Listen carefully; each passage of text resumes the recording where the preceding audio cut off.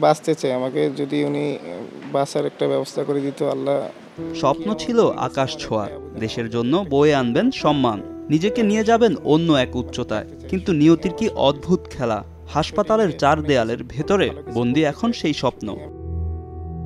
আব্দুস সোবহান গেল চার মার্চ শুটিংয়ে বিভাগীয় পর্যায়ে রংপুরের হয়ে জিতেছিলেন শেখ কামাল যুব গেমসের স্বর্ণপদক। কথা ছিল আর্মি স্টেডিয়ামে অংশ নেবেন জাতীয় পর্যায়ে। কিন্তু বিধাতার নির্মম পরিহাস, সেই সুযোগ জোটেনি সোবাহানের ভাগ্যে।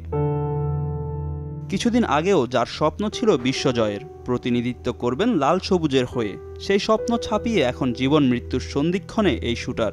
বেঁচে থাকাই এখন তার জন্য বড় চ্যালেঞ্জ। গেল নয় মার্চ, শারীরিক সমস্যা নিয়ে ভর্তি হন রংপুরের একটি হাসপাতালে।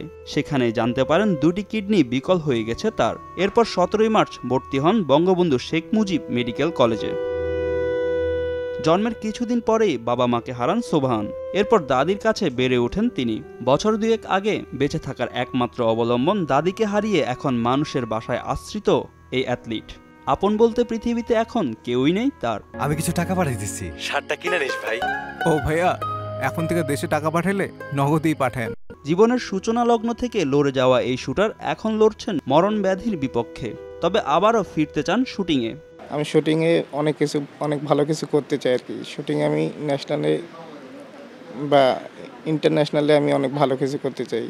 আমি চাই যে অলিম্পিকে বাংলাদেশকে রিপ্রেজেন্ট করতে চাই। বঙ্গবন্ধু শেখ মুজিব মেডিকেল কলেজ হাসপাতালের নিয়মিত ডায়ালাইসিস করাতে হয় তার। তবে ব্যয়বহুল এই চিকিৎসার জন্য পর্যাপ্ত অর্থ নেই সোবাহানের কাছে। সেই জন্য ক্রীড়ামন্ত্রী ও শুটিং ফেডারেশনের সাহায্য চেয়েছেন এই অ্যাথলিট। ফেডারেশনের কাছে একটাই চাওয়া যে ডায়ালিসিস করে আমাকে সুস্থ রাখা খুব কঠিন। ক্রিয়া মন্ত্রীর কাছে আমার একটাই আবেদন, আমার জন্য একটা কিডনির ব্যবস্থা করে দেয়।